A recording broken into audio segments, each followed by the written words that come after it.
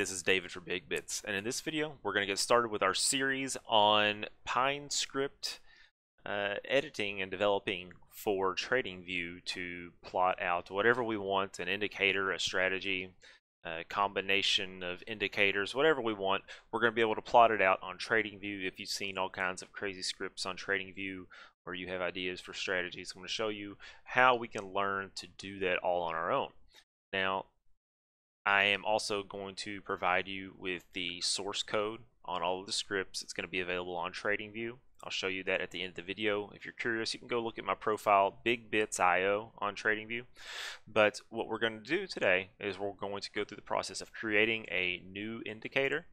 And then I'm going to show you all of the key components of the script and show you kind of what they mean and what they are doing for the script that we're working on. So the first thing you're going to want to do is you're going to create a new script. I'm going to assume since you're watching this video first, you probably haven't done a script before or maybe you have and maybe you just forgot how to. So first, we need to go to the Pine editor. This is where you can work with your Pine script. Let's open that up. I've already got my indicator up that we're going to work with, but you'll want to choose new and it comes with some templates but I use a blank indicator script and I wrote all of this and I have kind of come up with a little bit of a style guide for the development of the tutorial scripts that I'm coming up with. You'll notice I force the PineScript version. Uh, this is just a little bit of code that tells the PineScript uh, processor in the back end or on, on your CPU, however they do it, it tells it that it has to use the fourth version of PineScript. And it has slight different syntax, and that just means you have to write things a certain way uh, with PineScript for it to work with version 4. And I also added a section about the author, uh, the version of PineScript, and you can also find my published scripts here. If you're viewing this uh, from TradingView and you just happen to come across this, you'll be able to find this by using that URL. And then I also added a URL to the documentation for everything we're going to be working with. So let's go ahead and get started and we'll go through all of this. I'm going to kind of show you or tell you exactly what this is. This is just a simple moving average. And as you can see, we're using a 21 period moving average on the daily chart on Bitcoin. So the purple line is a 21 period moving average for Bitcoin over about the last year now. It's very simple, but there's a lot of things we have to know. So the first thing we do when we're creating our own indicators, we have to provide a line that's a calling function called study. And this pretty much just tells PineScript that we're going to be creating an indicator. Uh, it accepts a few different parameters, and parameters are just essentially options for this particular function to tell it more information. And you can see when you hover over it, it can give you some more information, or if you go to the URL that I have here in the code comments, it'll take you to the actual uh, user manual for PineScript version 4, and it'll tell you what everything in there means. I'm not going to go over all of the reference documentation, but I'll show you what some of this stuff means. So the short title is what's going to show up on the chart. It needs to be short so you don't overwhelm the screen with all kinds of information. Now the title itself is simple moving average. Uh, it, it's a very simple title to use. It doesn't really mean too much to me here. Uh, if you are going to be publishing your own scripts ever, make sure that you have the title set correctly here because this is what will show up in the public library. Okay. So once we've done that, there is one other option that is the overlay option. Now when you choose overlay of true, it's going to plot anything that you wanted onto the chart. It's going to overlay it on the existing chart. If you have it set to false, it'll create a new uh, plot area below this. And to show you this, we'll add the built-in uh, MACD. And you'll see that this will pull up another plot area, then you can see that information on a different chart below the actual price chart. So I've removed that, now that we've told it what our indicator or our study is going to be called and given it some information about itself, now we need to know information about the indicator itself. Well, we know we want to create a simple moving average. So what do we need to create a simple moving average? Well, we need the period for the simple moving average. So this line is calculated by looking back at all of the data within the period and by default it's going to be 21 so we're going to look back 21 candles and average those out and it's going to plot that particular point on the line. Now since the price changes you can see the line going up and down. That's why they call it a moving average. Now the reason it's important to use this input function is because that is what the study or the indicator uses for you to configure the study on the chart. So we have one input, and that is for the moving average period. By default, I have it set to 21. Let's change it to 200. Hey, I changed the scene. What do you think about that? Change that back. Okay, so, oh boy, having a few issues here. I'm testing my new recording software, so there's some hotkeys I think are overlapping with what I'm doing here. I have to change those around. Anyway, we've changed our input for our moving average period to 200, and you can see now the line is a 200 period moving average.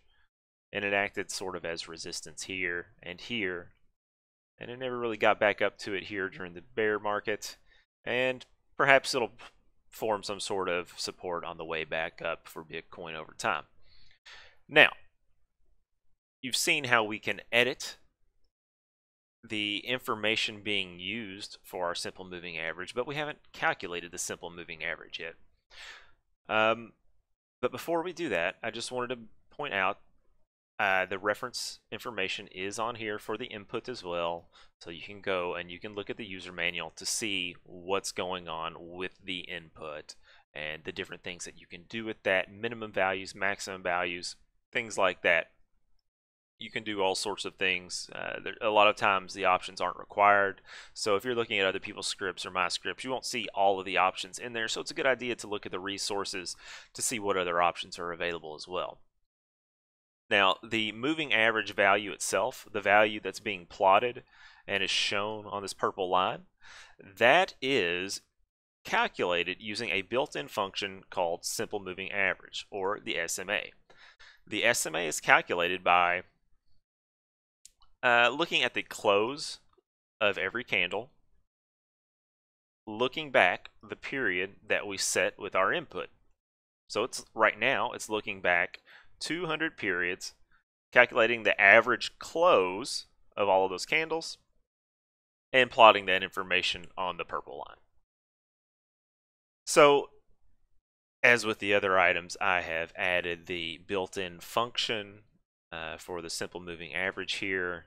Uh, if you're not aware, a simple moving average is just a straight normal average, what you learn in, I guess, fourth or fifth grade, maybe sixth grade pre-algebra where you take a bunch of numbers add them together and divide them by the number of uh, entries in the list that you were working with. Uh, it's just a straight up average and there are very very many different moving averages that uh, have come up and you can have access to all of those through TradingView but we're just going to use a simple moving average now and once we calculate that we'll be able to plot it. So we set our moving average value equal to that of this built-in SMA function using the close and the moving average period. And we can finally plot this, and the plot, of course, tells it to plot it on the chart, write it, draw it, however you want to say it. It's putting the line on the chart now. And we can tell it what color to use and the line width to use, and there are also many other different options for plotting. Uh, we're going to get into that a little bit later, but you can see you can choose the color. Uh, you can do all sorts of things with plotting, and not even all of it's here. So we'll have to get back into that a little bit later, but that just draws it on there. And we can also set the width. You can see it's a pretty wide line. So that kind of does it for this particular script. Uh, I tried to keep it very simple. I hope you can understand where I'm coming from here. If you want to go ahead and add it to any chart that you have so that you can look at the source code. You can go to the public library and you can search for scripting tutorial one simple moving average. You can see I've already got it started on quite a few others already and you're more than welcome to go ahead and look at those. Once you add it to the chart, it'll use that default 21 period moving average that we started with. And if you want to look at the source code and maybe make a copy of it and start working on your own code, just click on those brackets up here and you can see the source code. If you want to start working on your own, you can choose make a copy. It's pretty pretty easy to work with. If you want to go ahead and look at all of my scripts and maybe by the time you're seeing this video we're a lot further along in the series maybe we're even done with the series. You can take a look at my profile on TradingView and go to the scripts section and you can see all of the scripts that I've done. And while we're here I can give you an idea of what we're looking ahead to in the future in this series. We're going to next take a look at plotting three different lines and they're going to use a different moving average other than a simple moving average.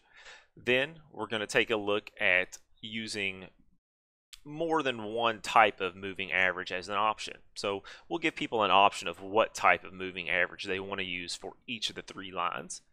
Then we will add on some more moving averages uh, that weren't included on the tutorial 3 and we'll also provide some other options such as uh, the source. So we plotted the moving average in this video based on the close of the candle. In this particular video, we'll go over how users can choose whether to plot or, or to calculate their moving averages based on the high of the candle or a median or other types of sources that are available built in through TradingView.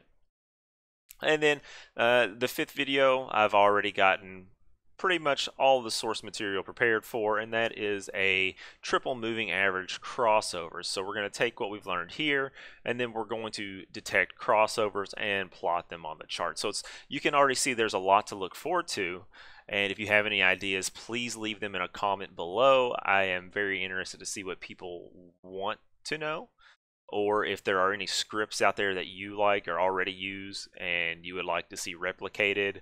Uh, maybe they're closed script and we want to see if we can replicate them on our own or closed source excuse me and we want to see if we can replicate them on our own we can try that as well or if you just want to understand what's happening in an open source script, that's fine as well.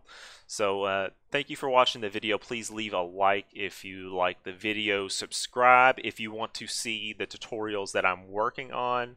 Uh, they're going to be really cool. Uh, obviously, when once you get into talking about crossovers, you're pretty much creating a strategy with an indicator, and we'll we'll eventually get into strategies as well. But uh, once you can detect the crossovers, you might be able to use those as an alert or maybe just an indicator when you look at the chart that hey, maybe the bearishness is over with and we're starting to enter a bull market. You know, you can use that kind of information to help you point out these things so that even though you have these lines on the chart, it's really easy to see what's going on.